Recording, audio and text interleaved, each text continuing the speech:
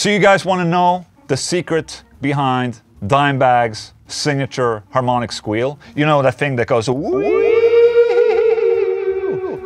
I just recently made a cover of Cemetery Gates and I've been receiving a bunch of questions from people asking how to nail those end squeals there at the end where uh, Dimebag is basically mimicking Phil Anselmo's high screams. And I already made a video regarding how to make these harmonic squeals, you know.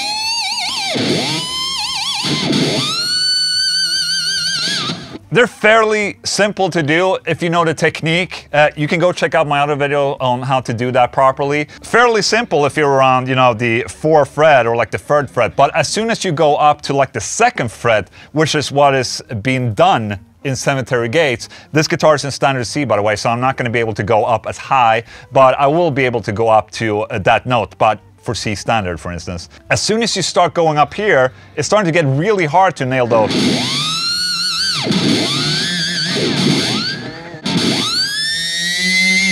It's really hard to make him clean.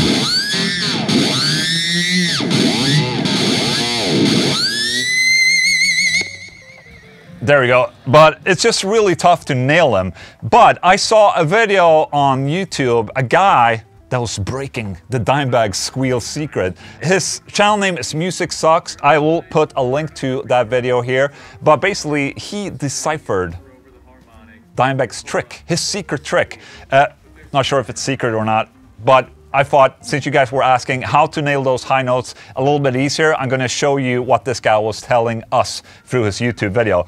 Uh, so what the guy discovered is that Dimebag was actually using his wah pedal when making these harmonic squeals. So, so I have a John Petrucci wah right here in front of me. And uh, so far, I haven't had it on throughout the video. So a regular harmonic squeal would be like... But with a wah...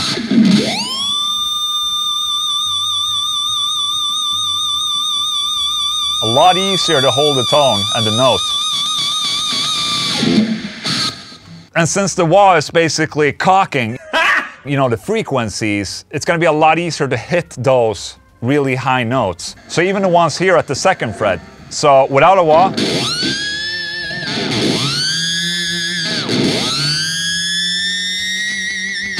it's a little tough. With a wah.